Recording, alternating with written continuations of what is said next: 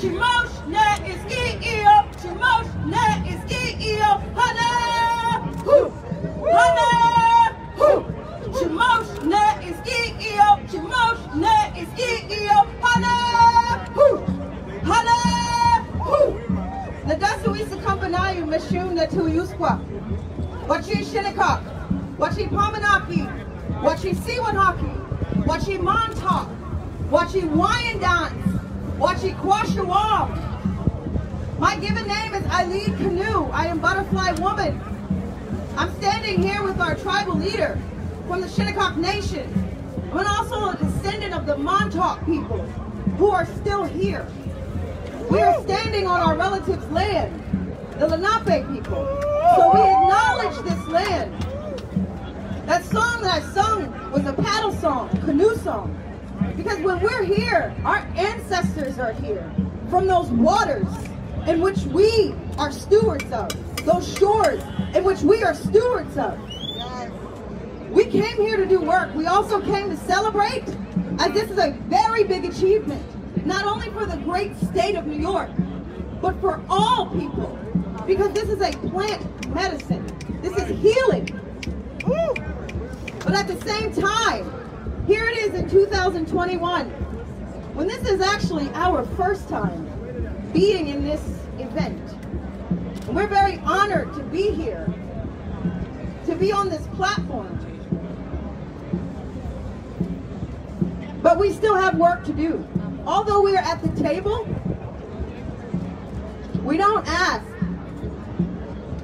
We need to be respected. It's very important that we do realize that this sacred medicine, this sacred sister plant, is grown on land that has been taken from us. And now here as Shinnecock people, as we have announced our entry into a very important industry, we've announced that years ago, but people are hearing us now. We thank you for hearing us.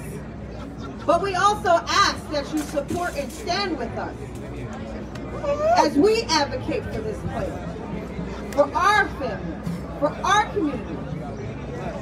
And one last thing.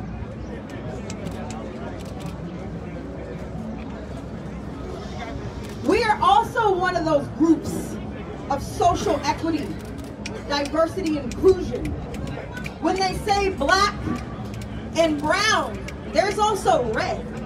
When they say Asian, Latino, black, and something else, well, that's something else. We're more than just something else.